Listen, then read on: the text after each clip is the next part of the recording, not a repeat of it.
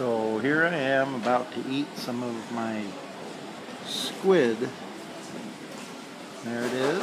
And I'm going to take a little piece of squid of the head, dip it in a little soy sauce, and I'm going to eat it. Mmm. I'm tasting soy sauce and squid.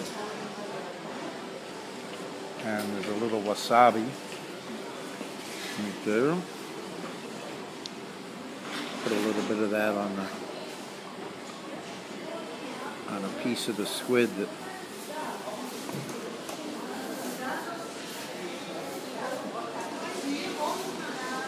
Mmm. This squid was alive not too long ago.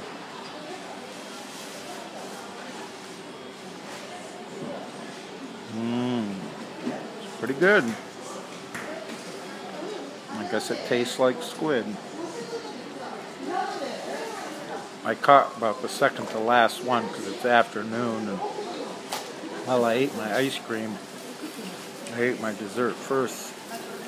Four or five people caught and ate live squid. 600 yen a piece, about six bucks. I guess you add a little more for the experience. But compared to a rice bowl with some salmon eggs, which is anywhere from 25 to 50 dollars. This is pretty good. Price wise, there's the tub, there's the squid, there's my mouth with squid.